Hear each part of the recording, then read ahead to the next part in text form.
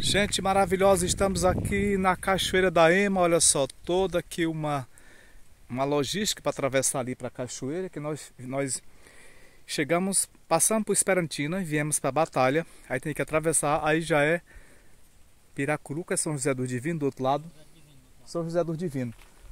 Ou seja, a gente sempre passa nossos finais de semana, quer dizer, nossas cachoeiras, nossas vindas, sempre na, na região de São José do Divino. É bom lembrar isso, porque a gente só fala que é batalha.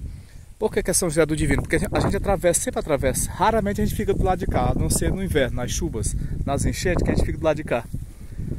Ou seja, mais uma noite de piquenique, de boas dormidas, conversa gargalhada, resenhas. Já chegou dois carros aqui, tem um carro lá, daqui a pouco chega Chico, é, é para vir uma previsão de 50 pessoas, né? E aí, João Morada, João Morada está rodeado de bagagem, aqui são redes, barco. O seu iate vai chegar mais tarde, não é isso? e aí, gente, a gente tá... Hã?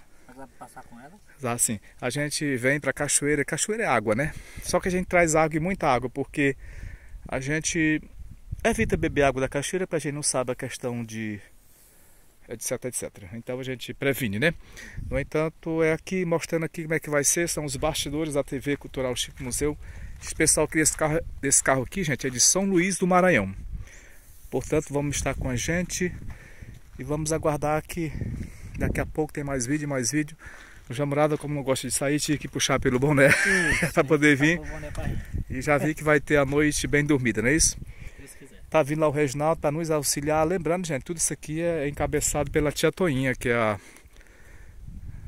a chefe do negócio, exatamente. Ela que coordena, que convida, que tal dia, porque quem não vem, sem contar as vezes que ela vem sozinha também, né? E aí nós vamos para a Ilha da Onça.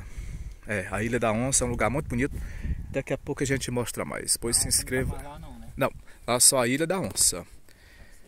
Valeu, meus amigos.